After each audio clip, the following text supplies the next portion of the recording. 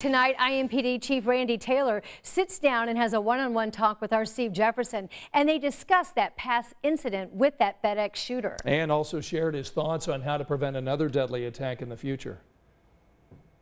During that one-on-one with the chief here at Metro headquarters, he talked about the steps they took after crossing paths with the suspect last year. He also talked about steps that need to be taken to keep another mass shooting from happening.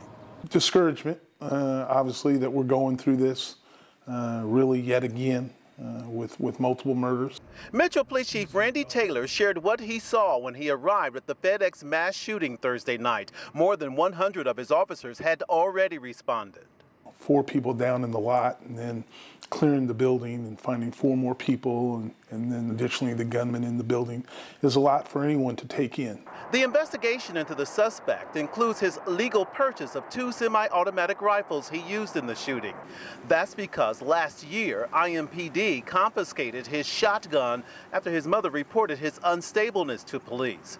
IMPD still has that shotgun, but Chief Taylor wants loopholes closed to identify and stop gun purchases by people with mental health challenges. I don't know if there's a way that we can make uh, immediate detentions and, and reports that would identify someone as, as maybe having an issue and maybe you shouldn't sell to that person.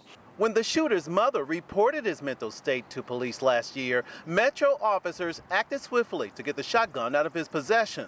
We still have the weapon. Um, apparently, uh, he didn't want the weapon back. Now, as IMPD continues investigating, Chief Taylor also shared his mixed feelings about automatic assault rifles.